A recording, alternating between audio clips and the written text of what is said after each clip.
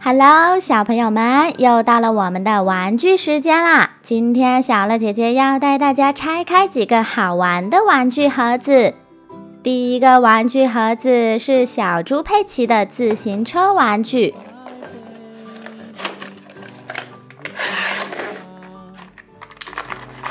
这个是我们的小猪佩奇。小猪佩奇的头上戴着一顶红色的安全帽。这个呢是我们的小羊苏西，苏西的头上也戴着一顶红色的安全帽。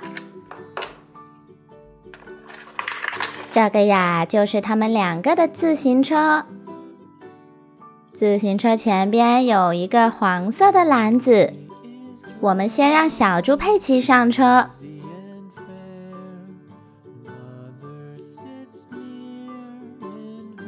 还有小羊苏西也要上车哦。我们让他们俩骑自行车出去玩耍吧。接着，我们再来拆开第二个玩具盒子。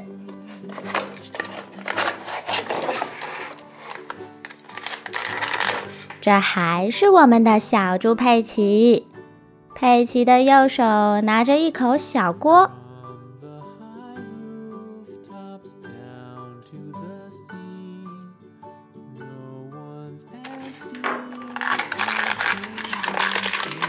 这个呢是佩奇的弟弟小猪乔治。乔治穿着他最喜欢的恐龙娃娃的衣服。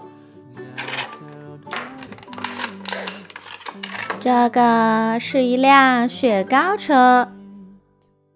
小猪佩奇要推着这辆雪糕车出去卖雪糕。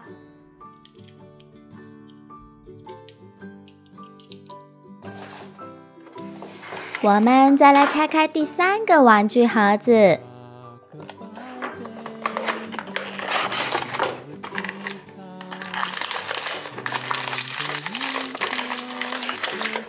这又是我们的小猪佩奇。小猪佩奇穿着一条围裙，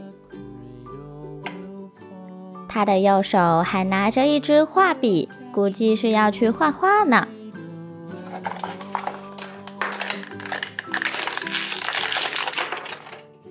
这里边还有我们的小狗丹尼，丹尼穿着一件紫色的衣服。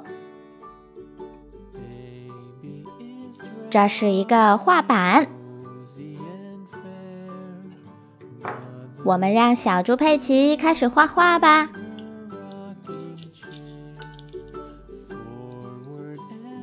小朋友们，这是我画的画，你们喜欢吗？